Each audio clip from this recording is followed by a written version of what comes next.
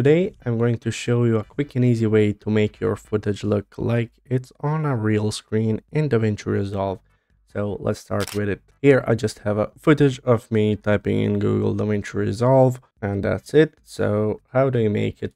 So let's go to our Open Effects tab and just type in Scanlines and just drag and drop this effect over and here we have something like this okay but we don't want it to be like this let's make our line frequency a lot larger so maybe somewhere around here. And as we can see it looks like this. Okay we can actually make our red green and blue offsets like this and then go to our global blend and just trim it back down.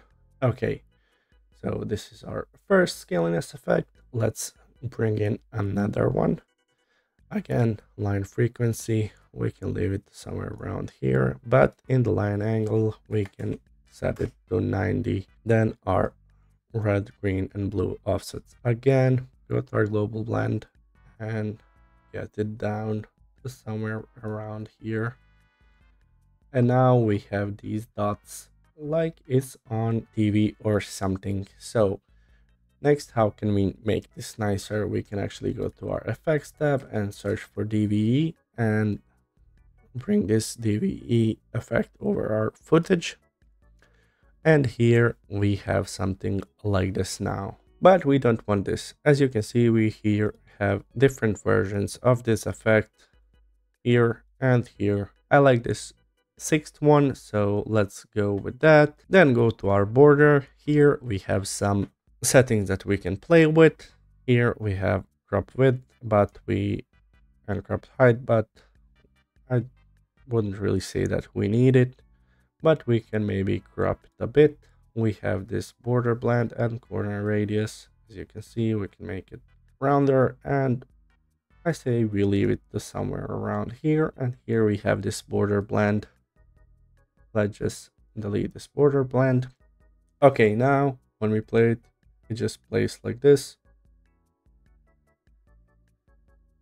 But we don't really want it to be like this, so we can go to our position here and let's go to the beginning of the clip.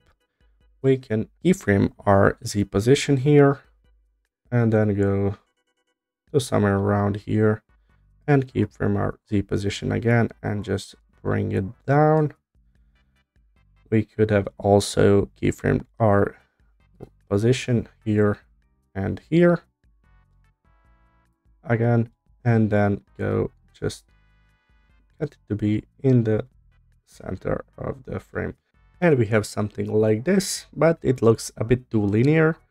So we can actually fix that. You see this button here. We can go to the right to the fusion. When we go to the fusion we click on our dve and then we have this spline here. So then we click here and here and then go zoom to fit then go select all and then we can just smooth out everything so it looks a bit nicer. And then we have something like this. Let's go back to the edit page so you can see better.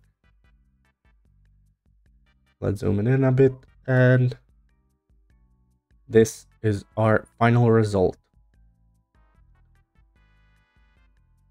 So that was a quick and easy way to make your footage look like it's on a screen.